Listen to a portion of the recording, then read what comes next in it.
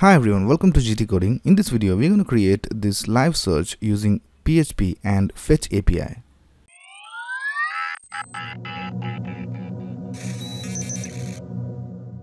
So before getting started, let me show you a demo of what we're going to build. Here we can see a list of all the names that we have and if I go over here and if I type something, for example, if I type T, we can see that all the names with T in it gets displayed over here and uh, we are not reloading our page or something but uh, it is all happening in real time. So if I type SARA we can see this name comes over here. And if we type something that is not there then we don't see anything. So if you don't have anything in this input box then all the names will be displayed so let's get started by creating our database. If you don't have XAMPP or anything equivalent to that installed in your system, just go ahead and install that. And after that, you'll get access to this phpMyAdmin. So if you're using XAMPP, you have to go to localhost slash phpMyAdmin. And uh, we'll go over here and click on new. And here we'll name our database. So we'll name our database live search. And we'll click on create our database has been created. Now we'll create a table. So we'll name it names and it will have two columns. The first one will be id and uh, we'll go over here and uh, we'll click on auto increment and we'll also make it primary key. And uh, here we will type name we'll change this to varchar 100 so that's it. Now save our table. Now we'll add some data to this column. So we'll just do it uh, from our database itself. I have already copied a SQL query which I will paste it over here. And um, just click on go. And if we go to browse we can see all our data. So we'll be working with this data in our uh, project. So let's close this database. I have created a folder called live search in my htdocs folder. If you don't know about all this you can watch my introduction to PHP video where I have shown you how to create install XAMPP and uh, how to create your first project. So in here I will just go ahead and uh, create a new file called index.php and uh, one more file called uh, style.css alright so in our index.php we will start writing our HTML live search. And here we will type live search. We just uh, refresh our page. So I've gone to localhost slash the name of the folder. And if I click on refresh we can see our website over here now we'll create a form with an action of search.php which we are going to create. And uh, then we will have the method as post. And we'll have an input for uh, our search field. And uh, we'll give it a name as name. We'll give it a placeholder of search here. And an id of search box. So here we can see our search box. Now create a UL for viewing our data. So we'll create a UL with an ID of data viewer. And uh, here we'll create some allies. Name 1 name 2 and uh, name 3 so here we can see our names now that's basically it with our HTML. Now we'll go over here and create a new file and we'll call it db.php and here we're going to create a PHP class. So just type class and the name of the file and we'll create some properties. So private con private host localhost private db name. So the name of our database is live search. Private user. The user is root in our case. Private password and the password is blank. So we are creating these private variables because we don't need to access these variables from outside the class. We'll be accessing it just from this class so now we'll create a constructor so that uh, we can uh, execute this code whenever the class is instantiated. So for creating a constructor in PHP you have to type public function underscore underscore construct. And whatever you type over here will be executed when the class is instantiated or created. So just for testing purposes what we'll do is uh, we'll echo something and uh, we'll go over here to index.php and we'll instantiate our class over here. So here first of all we'll include our db.php file. So we'll type require once and uh, then the name of our file. And then here we'll instantiate our class. db equals new db.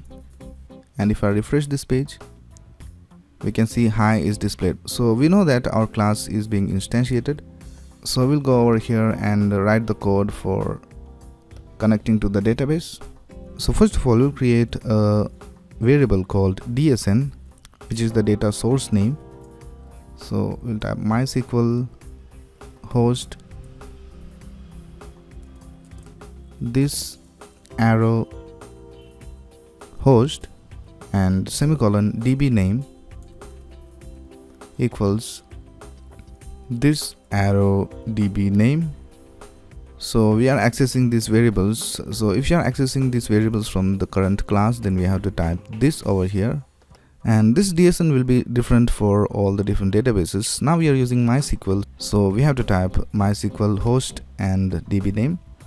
Now we'll write our code for connection inside a try catch block. And uh, here we'll type this arrow con so this variable right here. And uh, we'll set it equal to a new PDO and in that we'll pass the DSN the username and the password. And we'll set a new attribute. So we'll type set attribute. And we'll set an attribute to enable our uh, PDO exceptions. So we'll type PDO attr underscore err mode comma PDO colon colon err mode underscore exception. So you have to type it exactly like this. Now if our connection is successful we'll just echo connection successful. And uh, here we'll catch our exception.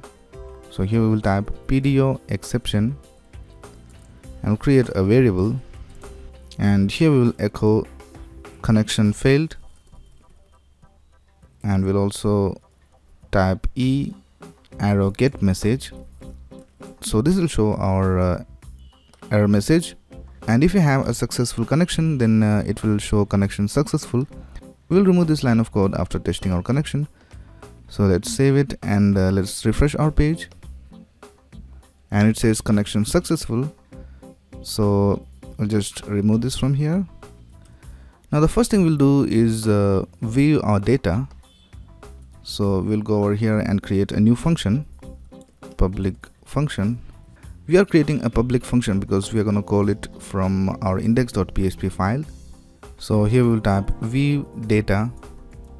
We'll create a query variable and we'll store our query in here. We'll type select name from names. So this means that select the name column from the names table. Now we'll create a statement and we'll type this arrow con arrow prepare and here we'll pass in our query. So this is where we are preparing our query and then we have to execute our query. So we'll type stmt arrow execute and we'll store our data inside a data variable and we'll type stmt arrow fetch all and we want it as an associative array. So we'll type pdo colon colon fetch underscore assoc and we'll return our data variable. Now what we'll do is call this method from our index.php file so we'll go to index.php and here we will create a variable called data and uh, we'll call our view data function. So we'll type db arrow view data. Now we'll just display our data over here. So we have to type var dump which will show us our associative array data. So we'll just refresh our page. So here we can see our data. We have these names right here. So now what we have to do is display those names as list items. Now that's very simple. Just go over here and uh, go into the php mode. And we'll write a for each loop. So we'll type for each data as we'll just have an iterator. So we'll type i over here. And open our curly braces and close the PHP mode and we don't need these three different list items because we are fetching from the database. So we'll just have one. And uh, inside here we'll go into PHP mode. And uh, here we will type echo i which is the iterator square brackets the name of the field. And uh, after that we will uh, close our uh, curly braces and we'll just remove this line of code from here. So we'll save this and we'll refresh our page. And here we can see all our names have been displayed in our uh, unordered list. Now we'll create a method for searching our data in the db.php file. So we'll go over here and uh, we'll create a new function. We'll type public function search data and uh, we'll pass a parameter over here and we are going to search for this term right here. So we'll create our query. Select name from names where name like and uh, here we'll have a placeholder name. So what you're doing over here is selecting the name column from the names table where name like this term over here. So using like we can uh, search for different names. So I'll just show you how to do that. We'll create a statement variable just like we did earlier. This arrow con arrow prepare query stmt execute. And uh, here you have to set our placeholder. So we'll type name arrow we want to display all the names which has this term right here. So we can have anything before that and anything after that term. So here we have to type the percent sign and then concatenate it with the name variable and then we'll have a percent sign over here as well. So this means that anything can be before this search term or after this search term and we'll store our result inside the data variable stmt fetch all will fetch as an associative array and we'll return our data. So for just testing it we will just go over here and we'll change this to search data and we'll pass in some value over here. So if we type jo over here and if you refresh our page we can see that all the names with jo inside it gets displayed. This can be capital or small it doesn't matter. So now that we have written our function for search we'll go ahead and uh, change this to view data. Now in our index.php file we'll go ahead and uh, for the input box we will add one more attribute called on input and uh, this means that whenever we type something in uh, this uh, search box then this code over here will be executed. So we will so we'll call a function in javascript when this on input is triggered. So we'll create a function in javascript called search and we'll pass the value of this input box. So we have to type this dot value and uh, we'll create our uh, javascript file. So we'll just include it here main.js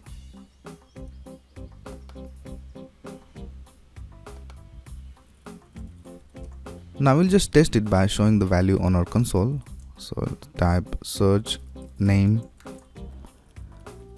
console.log name so let's open our uh, console. So here's our console. Now let's refresh our page. Now when we start typing something over here we can see that it gets displayed on our console. So whatever we type gets displayed on our console? So the function is being triggered. So let's close this and uh, and let's go to our index.php file. And uh, in our uh, main.js file we will create a function and we'll call that function in our search function. So we'll type fetch search data and we'll pass in our name variable. Now what we're going to do is we are going to send this name variable to a search.php file and then we're going to write the code for fetching our data from the database in the search.php file and then we're going to return that data from there and we'll display that data in our page. So you have to write fetch and uh, in the first parameter you have to write the name of the file. Now in the second parameter you have to add some options. So we'll type curly braces and in here we will type method. We'll set the method as post and body we'll pass a new url search parameter. So we will type new url search params name equals and we'll concatenate with our name variable. Now after calling fetch you have to type dot then and uh, we'll get our result over here. So in here we'll create a function. So we'll just create an arrow function which means that we can directly type uh, the parameter over here and uh, put an arrow. And uh, here we will uh, write the code for our function. So what we'll do is we'll convert the result into a text format.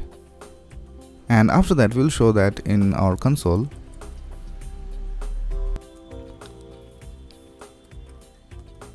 And we'll also catch any exception that we get.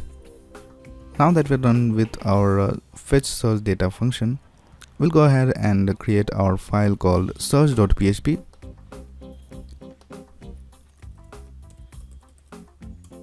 Here we'll go into PHP mode and uh, we'll store our name in a name variable. So we'll type post because uh, we had used the post method in our fetch function and we'll echo name colon name now we'll just check whether we get this displayed on our console whenever we type something over here. If you see this you can be sure that our search.php file is being called from our main.js file.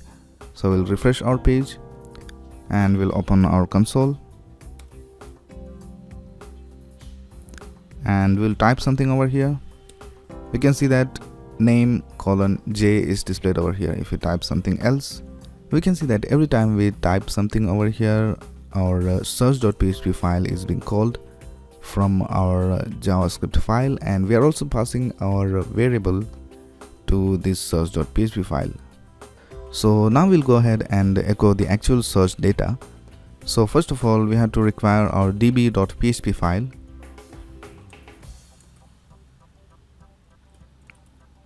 now our db.php file is a class so we can create an object and uh, we have to call this search data method.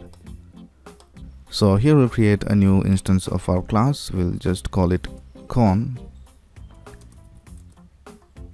new db now we can call our search data method on this con object.